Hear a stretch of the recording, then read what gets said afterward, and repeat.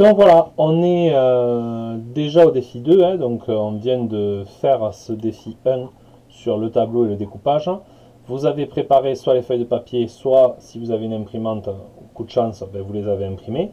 Et la question est simple, c'est existe-t-il un attribut commun, donc un caractère, quelque chose que l'animal possède, commun à ces cinq animaux permettant de les classer tous dans le même groupe? Si oui, lequel?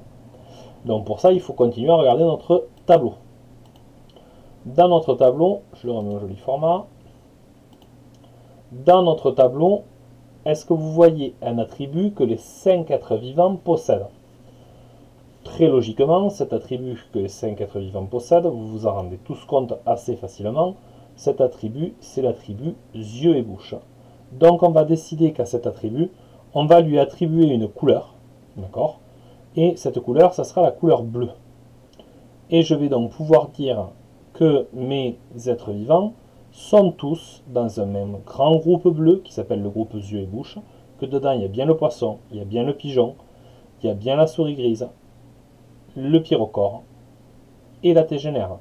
Tous ces êtres vivants sont dans le grand groupe bleu. Je peux donc colorier la ligne yeux et bouche en bleu. On est OK?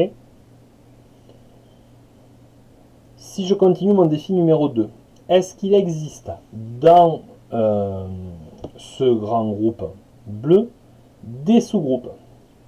Donc c'est des sous-groupes de quelque chose que les êtres vivants ont. Et on a dit qu'on mettait les croix à l'intérieur de ce que les êtres vivants avaient.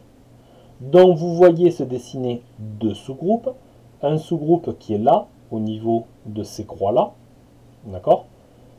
Un sous-groupe où dedans il y aura le pigeon, la souris grise et le poisson-chat. Et un autre sous-groupe où on voit se détacher la tégénère et le pyrocore.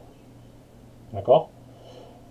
On peut d'ailleurs remarquer que quand vous appartenez à ce sous-groupe-là, vous n'appartenez pas à ce sous-groupe-là. Vous n'avez pas les deux. Vous avez soit l'un, soit l'autre. Du coup, on va choisir deux couleurs différentes et ce sous-groupe-là va être d'une couleur et ce sous-groupe-là va être d'une autre couleur.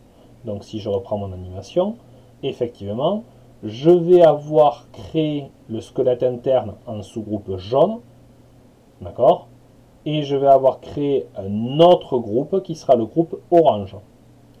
Les êtres vivants dans ces deux groupes n'étant pas les mêmes, je mets dans mon groupe yeux et bouche squelette interne, dans mon groupe squelette interne, je vais pouvoir me retrouver avec le poisson-chat, le pigeon et la souris grise.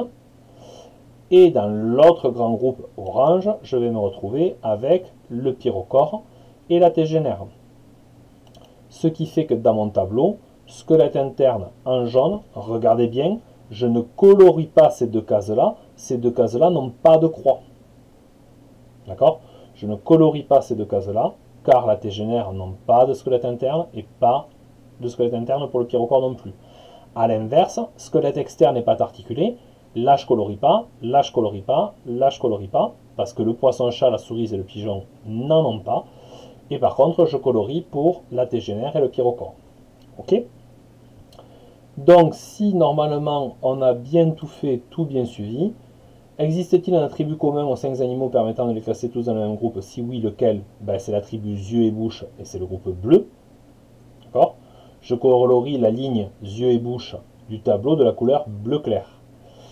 Dans ce grand groupe bleu, on peut classer les animaux en deux nouveaux groupes. Quel attribut un animal doit-il avoir pour faire partie d'un de ces deux sous-groupes? Sous-groupe avec l'attribut pour la couleur jaune, donc on a dit squelette interne et sous-groupe numéro 2 avec l'attribut squelette externe et pâte articulée pour la couleur orange. Et donc normalement, à cette étape-là, vous avez vos deux groupes emboîtés dans le groupe bleu avec les vignettes posées et vous pouvez écrire l'attribut, le nom de l'attribut dans le groupe. Crayon à papier si vous avez peur de vous tromper.